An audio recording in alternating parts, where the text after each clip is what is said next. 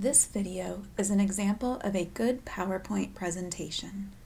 Pay attention to how it looks. Look at the font and design. See how the extras make it more interesting but not confusing. After you watch the video, you can look at your PowerPoint presentation to see if there are any changes you need to make. Surgical Technologist Deborah Cantrell, October 29th, 2014. Surgical Technologist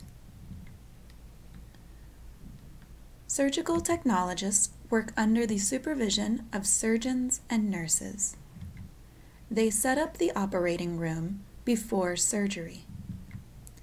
They work with patients and other medical staff. They almost always wear a uniform. They may work on call, nights, weekends, or holidays. This information came from the Bureau of Labor Statistics. A surgical technologist needs to receive education and training. Sometimes they receive a certificate, sometimes they receive an associate's degree. Their salary is $23.48 per hour. Their yearly salary is $48,800. In my opinion, I think this is interesting work.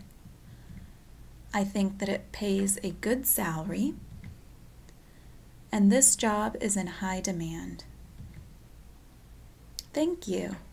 Do you have any questions for me? The end.